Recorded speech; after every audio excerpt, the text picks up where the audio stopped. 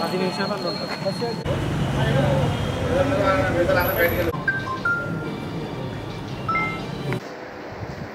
Corona వ్యాధికి సంబంధించి మన జగిత్యాల జిల్లా లోపల కొంచెం మంది సోషల్ మీడియా ద్వారా అంటే వాట్సాప్ కావచ్చు ఫేస్బుక్ల ద్వారా ఈ సామాజిక మాధ్యమాలను ఉపయోగించి రాంగ్ పోస్టులు పెట్టడం జరుగుతూ ఉంది.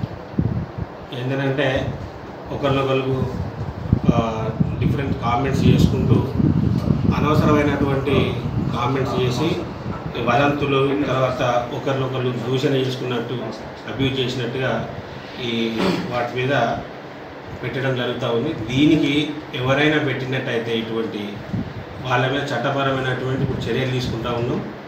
ఈరోజు నిన్నటి రోజు ఒక మూడు కేసులు రిజిస్టర్ అయినాయి. ఇవాళ కూడా ఒక నాలుగు కేసులు రిజిస్టర్ అయినాయి మన టౌన్లో. వాళ్ళ కే పెట్టిన వాళ్ళకే కాకుండా ఆ గ్రూపు అడ్మిన్కి తర్వాత దాంట్లో గ్రూప్లో ఉన్న వాళ్ళకి అవసరమైతే ప్రతి ఒక్కరి మీద కూడా కేసు పెట్టి అంటే ఇంకొకరు కూడా సైలెంట్గా ఉన్నారంటే వాళ్ళు కూడా సపోర్ట్ చేసినట్టే కాబట్టి గ్రూప్లో. వాళ్ళందరూ కూడా ఎవరి అడ్మిన్ మీద తర్వాత పెట్టిన వాళ్ళ మీద కంపల్సరీ యాక్టివ్ చర్య తీసుకోవాల్సి పడుతుంది. వాళ్ళ మీద ఐటీ యాక్ట్ మీద అదేవిధంగా ఐపీసీ సెక్షన్స్ మీద తర్వాత ఎపిడమిక్ యాక్ట్ మీద అట్లే డిజాస్టర్ మేనేజ్మెంట్ యాక్ట్ మీద కూడా వీళ్ళ మీద క్రిమినల్ యాక్షన్స్ తీసుకోబడతాయి. తీసుకోవడమే కాకుండా వీళ్ళ ఫోన్స్ కూడా అన్ని సీజ్ చేయబడతాయి. ఫోన్స్ కూడా సీజ్ చేసి వాళ్ళ మీద ఈ వాళ్ళు కంప్యూటర్స్ తర్వాత మిగతా ల్యాప్టాప్స్ ఏమున్నాయి కానీ వాటి మీద అన్నీ కూడా సీజ్ చేయడం జరుగుతుంది. కాబట్టి అందరు దయచేసి రాంగ్ పోస్టులు పెట్టకండి. అనవసరమైనటువంటి గ్రూప్ అడ్మిన్స్ అందరూ కూడా వాళ్ళు డైలీ చెక్ చేసుకోండి ఎవరైనా రాంగ్ పోస్ట్ పెట్టినట్టయితే.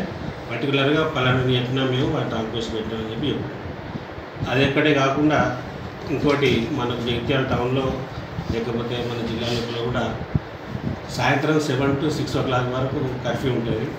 దాన్ని ఈ ఇన్ని రోజులు అందరూ సహకరించారు. ఈ మధ్య కొద్దిగా డైల్యూట్ అయినట్టయి అందరూ పిల్లలు రోడ్ల మీద రావడం జరుగుతూ ఉంది. కాబట్టి అందరూ కూడా స్ట్రిక్ట్గా ఇప్పుడు మనకు మన జిల్లా లోపల డిస్టిక్ ఐసోలేషన్ హౌజెస్ ఉన్నాయి మనకు పొలాసలో ఉంది. తర్వాత కొండగట్ట దగ్గర ఉంది. కొండగట్ట అంటే మన జేఎన్టీలో ఉంది.